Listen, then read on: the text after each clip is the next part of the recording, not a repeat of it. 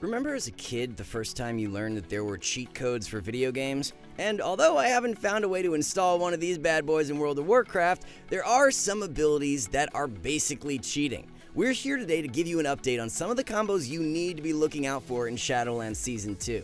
We will be breaking it down by melee, caster, and healer to make sure you are ready for everything in 9.1. And speaking of being ready for anything, we got you covered over at Skillcapped. For over a decade, we have been delivering the highest quality PvP guides on the entire internet. Our team of expert pro players have spent countless hours grinding Arena and have valuable knowledge and experience to share with you. For prices as low as $4.99 a month, you can get access to hundreds of WoW Arena guides designed to improve your skill and rating in PvP. Joining our website will also give you exclusive access to the premium section of our Discord, where you can message pro players directly for any of your specific PvP needs. And with a money back guarantee, you have nothing to lose. So if you're looking to push rating this season and stay ahead of the competition, be sure to check out skillcap.com slash wow today. Starting off, we have a few abilities from melee classes that you definitely need to look out for in Season 2. So you've probably seen a few Twitch clips like this in Shadowlands, or maybe this has happened to you. Jamie, we're gonna need to rewind that clip and look at our team's health bars once again. Obviously, the damage here is pretty busted, but let's break down exactly what is going on. For one, almost all of the damage here is coming from spinning crane kick, but if you logged on a level 60 monk and used the ability on a target dummy, you would be disappointed. Instead, what is going on in these one-shot clips is a combination of a bunch of damage modifiers. For one, it's getting a damage increase from other abilities, because for every target the monk attacks, spinning Crane Kick will hit 15% harder. This is why you constantly see rank 1 monks tab target pets, because it gives them a stacking damage increase for their burst once they press spinning Crane Kick. This is further being multiplied by the calculated strikes conduit, which increases the damage even more. Finally, monks have a talent called Dance of Chi Ji, which will sometimes give them a 200% damage increase on their next spinning crane kick whenever they use their Chi. So here we have all the damage multipliers together. Regular abilities will stack a damage multiplier on Spinning Crane Kick, which will be increased further with a Conduit. Then, once the monk gets their Dance of Chi Ji proc, it's time to press go and unleash huge damage. And all of these things together are why you see so many Twitch clips of monks absolutely evaporating the enemy team. Here's the scary thing, they don't really need cooldowns to hit this hard. Of course, the damage could be increased even more with Storm Earth and Fire or Weapons of Order, but there are enough damage multipliers on Spinning Crane Kick alone that these additional damage modifiers aren't as important. So, what do you do? For one, you might want to consider making a weak aura for the Dance of Chi-Ji buff, which you can set up for yourself in the same way we're doing here. This will instantly let you know when any enemy monk in arena has their huge damage proc. If you see this buff, get ready to use a major defensive cooldown, especially if you see the enemy monk use Storm, Earth, and Fire, or Weapons of Order. With any combination of these buffs active, the damage will be nearly unhealable without major damage mitigation. If you do see Storm, Earth, and Fire, one of the absolute best things you can do is CC the clones, since they can't be broken out of CC even if the monk uses their PvP trinket. This will dramatically reduce the monk's pressure, since each clone hits for 45% of the monk's damage. The rest of the abilities on this list aren't nearly that complicated though. As I'm sure you've noticed by now, Arms Warriors are playing Kyrian again and are doing massive damage during their Spear of Bastion. This is entirely due to a new legendary in 9.1 called the Elysian Might, which increases the spear's duration while giving the warrior increased crit.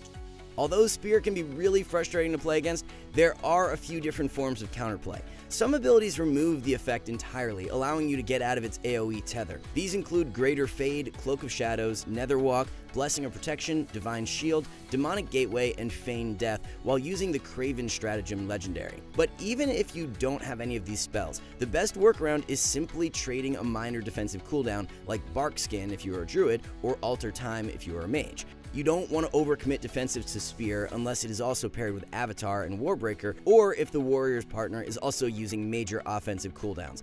Although rare, some warriors are even playing Necrolord, and one of their Covenant abilities is called Conqueror's Banner. This gives their team a massive temporary increase to mastery. Because of its long cooldown, this is usually lined up with other major team-wide offensives, like Wings if they're playing with a Ret Paladin, or Incarnation if they're playing with a Balance Druid. What this means is that the moment you see the Conqueror's Banner buff, you should be ready to use a major defensive cooldown, because you should assume more CDs will be stacked with it. Just like other abilities on this list, you can track Conqueror's Banner using a weak aura like we have configured here. Moving on, everyone's favorite Druid ability has made its sweet return in Season 2, with Convoke the Spirits disrupting the meta once again. Towards the end of last season, many Feral Druids made the shift over to Necrolord due to its bulkiness and its ability to give them huge damage modifiers on their dots with Adaptive Swarm and the Draught of the Deep Focus legendary. Night Fae is making its sweet return in Season 2, as a new legendary was added specifically for Convoke the Spirits, causing it to have a 1 minute cooldown and an increased chance to use an exceptional ability. Well, that sounds terrifying. Although rare, some Resto Druids are even playing Night Fae in Arena, and with access to the same legendary, their Convoke damage is still really good, especially when used in cat form. Luckily though, Convoke has a few counters, and one of the best counters is Knowledge, and specifically knowing you are playing against a Night Fae Druid before they press Convoke. One of the easiest ways to see if you are playing against a Convoke Feral Druid is to check their buffs. Necrolord Ferals will usually have Fleshcraft and might have a Soulbind buff called Volatile Solvent. On the other hand, Kyrian Druids will have Kindred Spirits. So in case you see either one of these buffs, you will know immediately that they don't have Convoke. The counterplay is still the same, with any interrupt or CC being able to instantly shut down the cast. So once you have established you're playing against a Night Fae Feral by looking at their buffs, your next step is to actively monitor the cooldown of Convoke. Always assume that they have the legendary, meaning its cooldown will be 1 minute. Once available, be ready to use interrupts as a team, ideally saving at least one PvP trinket in order to disrupt its cast. If no trinkets or interrupts are available, you need to trade a defensive cooldown as quickly as possible, since damage from two ferocious bite crits is often enough to 100 to 0 targets. Next up, surprise surprise, Rogues also have some new one-shot combos this season. A new legendary was added in 9.1 for Kyrian Rogues called Resounding Clarity, giving them 4 super combo point spenders when they use Echoing Reprimand. This is a bit tricky to explain, but it gives them 4 unique buffs, allowing them to spend different amounts of combo points to act as if they had actually spent 7 combo points. This means that they can use 2 combo points and the legendary will dial it up as if they spent 7. Now that is what I call value. Fortunately, this combo is really easy to spot, since it will spam the rogue instantly with these 4 buffs. Like many abilities on this list, the best reaction is to simply trade defensive cooldowns as quickly as possible. Most of rogue damage happens a global or two after they use their stuns during Shadow Dance. If you or your partner is stunned while Shadow Dance is active and Echoing Reprimand is used, you should anticipate huge incoming damage. Taking a slight detour outside of Kyrian sub-rogues, Necrolord Assassination has seen a surge in popularity this season, having their own unique damage setup. Some Assass rogues are playing with deeper stratagem, allowing them to get 7 second kidney shots and more damage on their Rupture and Envenom. When paired with internal bleeding and a 6% damage increase from a new Soulbind proc called Kevin's Oozeling, every kidney shot is really scary against Assa rogues. The biggest cooldown you need to look out for is Vendetta, which when paired with all of these other damage modifiers gives Assa rogues huge damage during kidney shot. This patch, however, your defensive response needs to be a bit more calculated, since Assassination has a new PvP talent called Hemotoxin, which will allow them to shiv on a 40% healing reduction. What this means is that you should avoid using healing based defensive cooldowns into rogues unless you are 100% sure you don't have Hemotoxin, since it will dramatically counter their effects. Instead, trade efficiently with damage reduction cooldowns whenever you get Kidney Shot with full bleeds and Vendetta. Moving on, we have some caster spells that you should definitely look out for this season. The first is Ring of Fire, which you probably have already seen if you've played against a Fire Mage in 9.1. As the name suggests, this spell creates a ring of fire on the floor that causes damage over time based on the target's total health pool. This means that the damage will be proportionally higher on targets with more HP. The debuff will refresh itself if the target passes through the ring more than once. Good mages will always use this ability on stunned targets, since it almost always guarantees the target will be burned by the ring for at least one cycle of dot ticks. The reason why this ability is so important is because it gives fire mages an additional win condition when combustion is on cooldown. Because the damage from Ring of Fire is based on total HP, it doesn't get modified by any of the mage's buffs, meaning Combustion or Rune of Power don't make it hit any harder. Before this patch, you only had to worry about Fire Mage damage during Combust. Now, with Ring of Fire, mages have another win condition to combo with their team's stuns. Fortunately, not all hope is lost though, since Ring of Fire has some specific counters. For one, the cast itself can be interrupted, which obviously shuts down all of its damage. It is also possible that the mage whiffs their ring, meaning your next job is to simply avoid walking into it, which years of raid grinding should have prepared you for. If you do manage to get hit by ring, the dot it leaves on you can be dispelled, which is definitely worth it since it burns a huge chunk of your HP. Speaking of Mage, Arcane has seen a slight increase in popularity this season. Although not nearly as popular as Fire, Arcane has a new true one-shot combo with Arcanosphere, one of the few skill shots in WoW PvP. This spell gets channeled by the Mage and then launched out in a straight line in front of their character. Unlike Ring of Fire, its damage does get increased by spell modifiers, so both Arcane Power, Rune of Power, and any Trinket proc will increase its damage. This leads to some absolutely insane burst when the cast can be successfully completed while multiple damage modifiers are up.